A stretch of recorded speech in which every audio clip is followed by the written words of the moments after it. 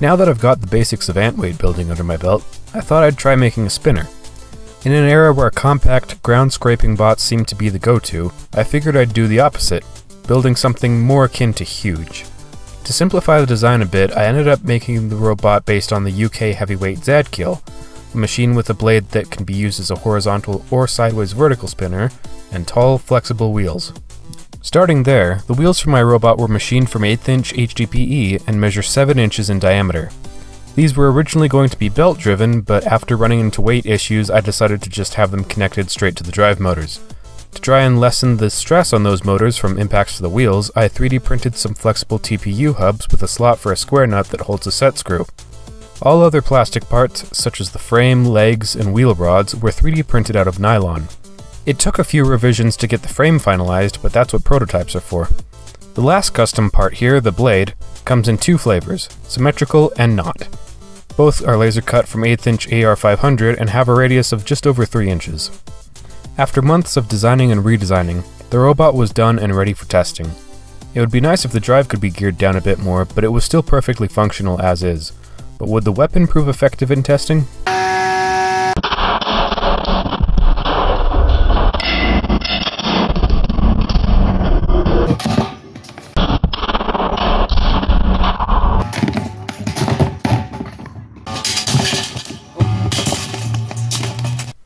Yeah, I'd say so. So with that, the robot just needed a name. Though it was based on Zadkiel, I wanted to call it something closer to huge. One trip to a thesaurus later, and Jumbo was finished. With the robot complete, I went out to the Northwest Hobby Expo in Monroe, Washington. There was all sorts of cool stuff there, from cars to planes to boats, but I was there for the combat. My first match was against Mildew, an undercutter from the builder of fellow big-wheeled bot Huge.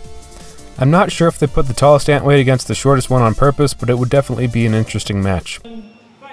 Okay, so starting the match, the first thing I noticed is just how different and difficult Jumbo was to drive. The big wheels with how slick they were, plus the gyroscopic forces, made this a lot more tricky to drive than I thought it would be. I did manage to get around to the side of Mildew here though, and right here I managed to get my blade stuck into one of his wheels. Emphasis on stuck, because uh, we could not separate after that. So, after giving it a few seconds, they paused the match and uh, unstuck us, and we went back at it. But yeah, as I was saying, uh, a robot like this obviously very different from Stingray, something that I was not used to driving. So it a lot of this match you're going to see is just me kind of getting used to the controls. I'm going to not be the best driver for a lot of these first few fights, but a lot of that is just me learning, uh, you know, how the robot controls and how to best handle it. You'll notice that a lot of the times uh, I'm not actually hitting mildew. That's because it's so short that when the blade is pretty much anything but perpendicular to the ground, it just goes over the top of it. On the bright side, Mildew is an undercutter, so it wasn't able to get a whole lot of hits on me either.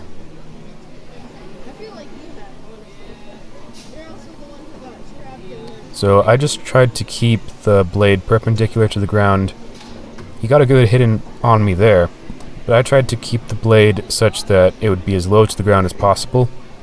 It might have been a better idea to switch out to one of my symmetrical blades because those are ever so slightly longer, but hindsight's 2020. And I was still able to get some good hits in on him. At this point, uh, I'm not really keeping track of time, I'm just trying to, like I said, get hits in on him. Uh, and then this hit happens and uh, down I go. I took a bad bounce, but things weren't going too bad up until that point. Thankfully, this tournament was double elimination, so I prepped for my next match. This would be against Barney the Bloodthirsty, a Thagomizer-styled robot. Okay, so against Barney, uh, I noticed that he's going to be doing uh, this a lot. He's going to be putting his blade in the air. When I was fighting him initially, I thought he was just uh, losing control of the robot, but looking back on the footage, I'm pretty sure he's trying to get the blade in the air so that he can hit my frame, which is really smart of him. Um, I didn't notice this at the time though, so I just kind of went Hail Mary and tried to get the blade pointed at him and hit him. Uh, and this was the result. Um, yeah, that uh, that wasn't looking so good for me. I was able to get Barney near the pit though, and down he went. What can I say? The pit giveth and the pit taketh away. Well, that was unexpected, but a win's a win. To explain what happened at the end. In the exchange where my blade came off, his blade got bent out of shape, making Barney harder to control and difficult to keep out of the pit once it was near it. But what happened to my blade? Well, the bar must have been hit from behind because the heads of the screws holding the hub to the motor all sheared off, launching the weapon across the arena. Though the motor itself was still perfectly fine, the screws weren't coming out, so I swapped my spare. On top of this, I also had to resolder a severed wire to the weapon speed controller and replace a screw that went missing from the drive motor. All this resulted in a lengthy repair job. Had I taken just a couple more minutes, I would have been disqualified. Thankfully, I got everything back together just in time for my match against Malicious Mouser, a Viper kit with a vertical spinner. Since I was facing a vert, I also swapped to straight legs, making the weapon more angled and hopefully giving me an advantage. So a big hit to start the match off, and another, which I think disabled one of his drive sides. You're going to notice I'm going to go in and then back off a couple of times. That's because after the last match I was uh, very weary of the pit. I also heard someone say something about an exposed battery, but then it was confirmed that it was just an ESC, so I kept going. And so, um, and yeah, that, uh, that was the result of that. After my match with Barney, it was nice to have things go a bit more according to plan. On one hit, I actually did manage to cut into the battery, but thankfully not enough to pierce any of the actual cells. Between how short this fight was and how much I scrambled to get the bot ready previously, I figured I would just leave it untouched for its next fight. This would be against Snap, a well-armored lifter bot. Okay, so the strategy in this match was very much the same as against Malicious Mouser. That is, get hits in where I can, and avoid the pit at all costs.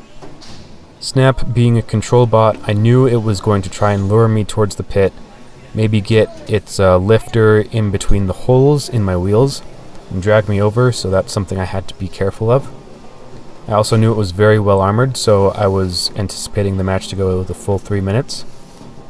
But just getting hits in where I could, um, I just kept at it. Um, and then right here, uh, my blade actually managed to get stuck in one of the drive belts uh, for Snap that uh, connected the front and rear wheels. So we tried to, you know, get the robots to separate on their own, and it didn't work. So they separated us, and we went back at it. I noticed at this point that Snap was down a side of drive, probably from uh, the last impact. So at this point, I just kind of kept going. Um, but I did not anticipate this. so that was a bit disappointing, but what are you going to do?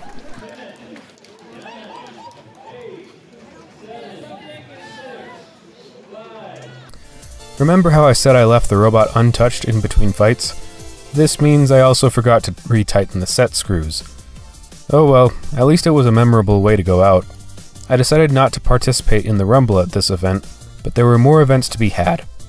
Though I unfortunately wasn't able to make it to Robo Games, another Crimson Bot Brawl was being hosted at WSU. The turnout for the ant Antweights was scarce though, so I'll just include my experience there in this video. Since there were so few ant Antweights entered, the bracket was replaced with a round robin. This meant I had to fight every other competitor, and my first matchup was against maybe the scariest one yet, Out of Control, a bristle bot shaped like a video game controller.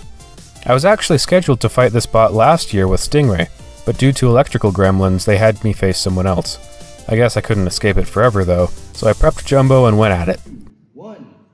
Okay, so you'll notice that the Crimson Bot Brawl Arena does not have a pit, which was nice for me after the last event, But there was still the big scary drum spinner on Out of Control. Uh, one of the pieces that came off there, that was one of the thumbsticks on Out of Control, one of the sets of bristles on the top of the robot, so that it can run upside down. But I was trying to avoid the drum if possible, but I was willing to go weapon to weapon if I had to. I didn't think that the drum would be able to hit my frame, but I did know that if it hit my weapon just right, it could bend something that was not supposed to bend. So I get a decent hit in there. Out of control, still going though.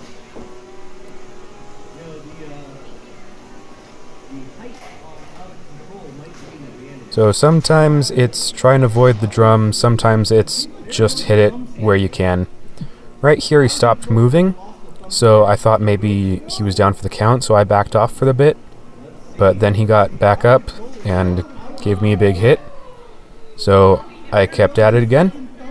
Big swing and a miss there, but uh, Jumbo was still perfectly fine, still working good. And so my thought was just keep hitting him until um, maybe the gremlins come back.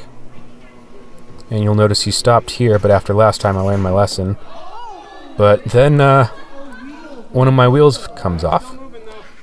Now, I'm still moving around here to show to the officials that, hey, I can still move, and he can't.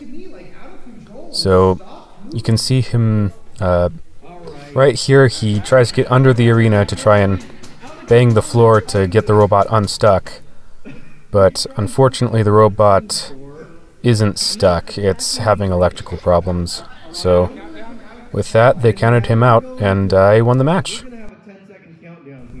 A very close match, but the electrical gremlins seemed to return for him in the end.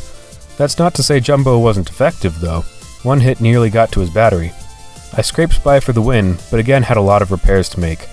One motor locked up and the other came unscrewed from its mount, but at least I wasn't in as much of a rush this time. Once things were fixed up, I went into my next match against Spices. This was another Viper kit with a vert, but compared to Malicious Mouser, it had better front armor, meaning I had to focus on getting to its sides and top. Despite this being a similar robot to Malicious Mouser, uh, my strategy was actually not very similar. Since there was no pit in the arena, I didn't have to worry about that, but I did have to worry about hitting the robot in specific spots, rather than just hitting it at all. You see here, I hit it on the front armor, and my whole robot was deflected for it. So I had to be careful on where I got hits in. You'll notice that during this match, I kinda sometimes rev the weapon down and then back up again. That's because the weapon is making the robot slide to one side because uh, of the vibration. I think something might have been damaged in the out of control fight that I didn't catch until after the tournament. But for the time being, I just worked with what I could. And it wasn't so bad to where I couldn't drive the robot, it just made things a little more difficult.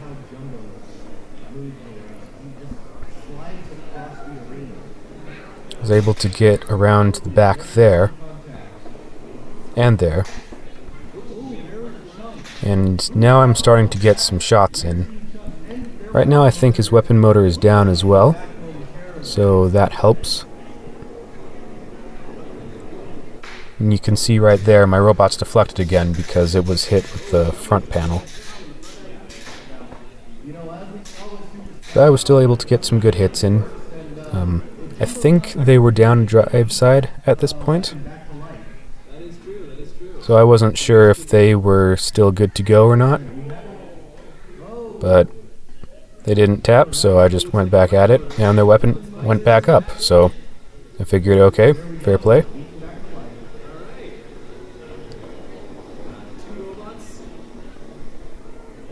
You can see me here getting around to the back of them trying to drive into that.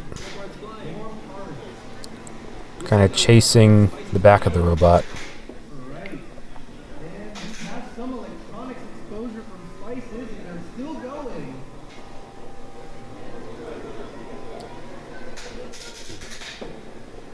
Then right here is kind of the kill shot. The robot could still move, but it was so damaged that they tapped out.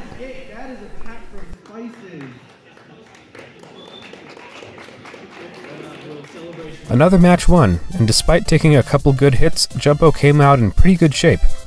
The team from Spices said their frame wasn't going to be repaired and gave it to me as a trophy, which was really nice of them. Only one robot left Green Knee, a plastic poison kit with a metal blade attached. With its PLA blade, it managed to win the plastic antweight division, so it definitely wasn't any slouch. Okay, so in this match, I wanted to aim dead for the center of the front of their robot. They got a good hit in on me there, uh, but that's what the wheels were for.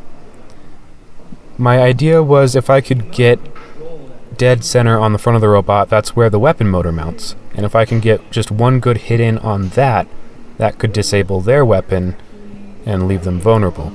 And right here, I got the hit I wanted. The blade actually came off from the hub, and they decided uh, to tap out, so that was it. With that dramatic finish, Jumbo won the event. Sure, there were hardly any competitors, but it still won all its fights. I'm pretty happy with how it performed across these two events, but there's definitely still room for improvement. For example, I noticed that I could only tighten the set screws so far before the hub started bending out of shape, which probably contributed to them falling off. I'm not sure what I'll do to make new ones, whether I'll 3D print them from nylon or have them machined or just use some custom ones from Repeat Robotics, but an upgrade seems in order. Also, side note, after last year's Crimson Bot Brawl, I upgraded to a proper drive ESC and flip-flop to avoid any further reception issues. It drives much better now and can win any staring contest you put it in. Between my other robots though, I wasn't sure if I would have time to compete with it, so I gave it to my cousin. He did name it after all.